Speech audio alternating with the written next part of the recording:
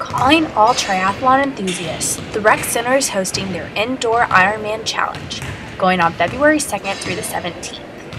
Grad student and wellness student employee Patrick Toppin gave us all the details. It's it's a it's a personal thing uh, to see if you can actually do an Ironman. I think a lot of people um, would like to do a triathlon and would like to see if they could actually do an Ironman. Um, so the challenge is, is set, set up over the month of February, and it's a honor system code. You come in and you sign up here uh, at the Fitwell. It's fifteen dollars, mm-hmm. um, and we give you a form of the month, and so you go through, and every day you can divide it up however you want to.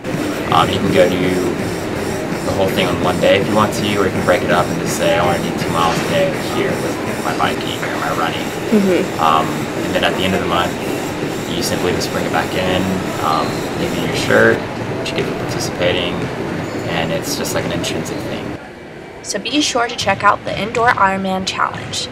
And from the Hub at TTU, I'm Lauren Estenbaugh.